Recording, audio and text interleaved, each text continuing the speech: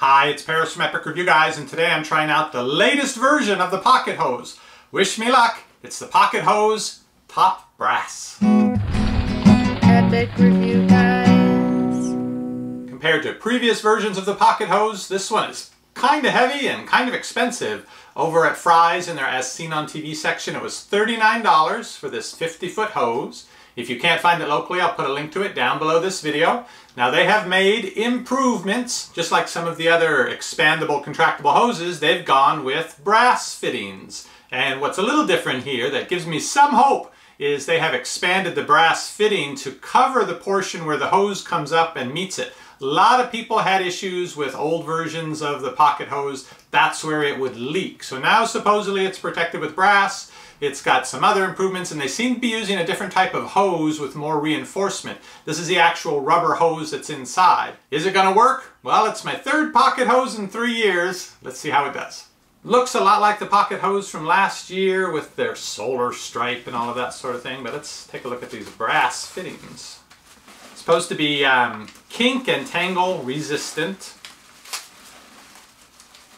This is where the weight is coming from in this hose these two connectors. Huh. Oh. What is it? It's hard to tell. They advertised about uh, the brass covering the connection point where this hose and the, the rubber tube basically that's inside comes up and meets the connector. But from here to here, this is plastic. Here you can look in the connectors, even though the rubber tube inside of the hose is uh, supposed to be 3 quarter inch in diameter, this is not. The opening that the water has to squeeze through is like maybe a quarter of an inch. Inside the piece of cardboard that lined the plastic container are the instructions and the precautions. And one thing particular to note is to prolong the life of your pocket hose top brass, completely drain and always store indoors when not in use. And I tend to do neither of those things. I leave it outside attached to the faucet. I turn the water off the faucet, but I don't carefully drain it and I don't want to have to bring it in and out every time I use it. I suppose the idea is this is light and portable enough that you can do that easily, but that's not how I use my hose. Makes me concerned that there's still an issue with um, the tubing breaking down from the UV. I think this is supposed to prevent that, but in the Texas sun, the sun always wins. And the other thing is, under warnings, do not leave this product unattended when in use or under pressure. So don't expect to be using it with your sprinkler. Here is the 50 foot pocket hose, top brass. Just laid out there without having any water pressure in it. Here's that clear also 50 feet. Now it doesn't contract up to get shorter, but what it does is it flattens. You can see the tubing gets flat, and that's part of uh, its feature. And then over here, we have your regular Lowe's ordinary 50 foot garden hose. So this is brass. It has the washer in it. Looks like it should connect well without leaking. The top brass part can spin independently of this plastic portion. Now our test location goes from this wall to the fence, which is 50 feet. And you can see here that the pocket hose top brass, when it's stretched up as much as it's going to go, is about 25 feet. So it's a little bit less of the contraction than it used to be. The original pocket hose would I think the 25, er, 25 foot version would contract down to about 8 or 9 feet. For you to get your 50 feet with this hose, that end has to be closed up. You can put a faucet on it, or there is a little valve you can turn to close it. But I'm going to turn the water on with the valve open just to see what happens to the hose. There's no pressure at the other end. Okay. A little bit of stretchiness here.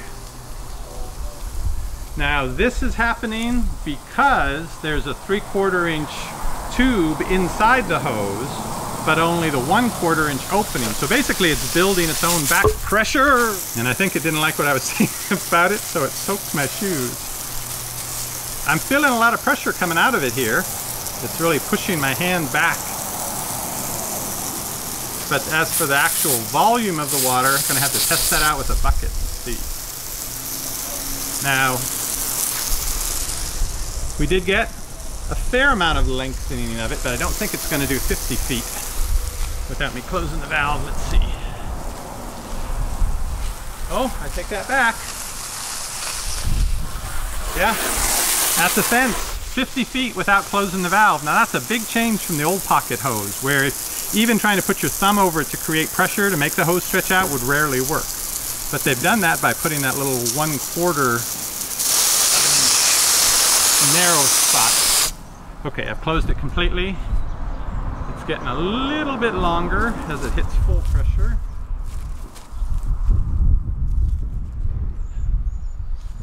And yeah, definitely got your 50 feet. Okay, let's see how much water we'll get out of this and how far it will spray. Yeah, comparable to the clear flow hose, I think. Have to do the bucket filling test to see. That's just my faucet leaking there. This is actually still dry. And I've left it for about 20 minutes under full pressure against their advice and recommendation. See if it was gonna pop right away, and it seems to be doing okay so far. I have turned the water off the faucet. Let's release the pressure here. Let's see if it gets back down to 25 feet in length. Here we go with just the connector. Open this up. A little faster, I guess. Water can only come out of the hose so fast through that little quarter inch opening, so this does take a little time. All right. Yeah, pretty good. Went back down to about 25 feet in length with the water pressure out of it. Have the faucet open full. We've got our expansion going on all here in the corner of the yard. We're going to see how long it takes to fill up this bucket. A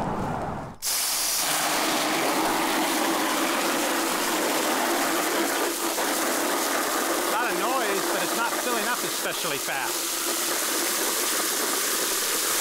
Okay, I'll have to time that later and see how long that took. I'm guessing about 40 seconds. Let's compare that to the regular Lowe's standard hose. Not gonna waste this bucket full of water. Gonna put it into this GreenStalk stackable gardening system, which I've also reviewed and I'll put a link down below this video too. Put the water to good use. Wide open faucet with regular hose. Is it gonna be much faster? I think it's already quite a bit faster. I'm guessing 20-25 seconds. Filled the bucket about twice as fast. So the pocket hose top brass did what it said it was going to do. It does expand and contract, not as much as the original pocket hose. These do seem pretty sturdy. I had no trouble with this. I had no trouble with it leaking. I like this uh, brass valve here to turn the water on and off. If you've recently cut the grass or it's muddy out, you know the hose is going to be covered with leaves and grass and mud and who knows what in the yard. So do you really want to bring that into your house? If they make this take more effort than just leaving my hose out in the yard, I'm not going to use this. So I think the only fair way to test it is to treat this hose the same way I would treat that Lowe's hose that's been sitting out in my yard for three years. $39 for this 50 foot hose. My 50 foot hose from Lowe's, trying to think three years ago, I think it was around $30, $35. So similar in price. It's lasted three years, however. This is the third pocket hose that I'm on. I will do some updates in a couple weeks time. I'm going to have all three hoses out there. So whichever one ends up being the most convenient and uh, most useful for the different needs I have for it, that's probably the hose that I would say is the best. That's the one I'll be using a few weeks from now. You can keep checking back for that update video or you can click that subscribe button down below. You'll get notified when our videos go up and we'll see you on our next review. Shopping is easy when you know what to buy. At Review, guys, a try. he goes shopping, he watches our videos.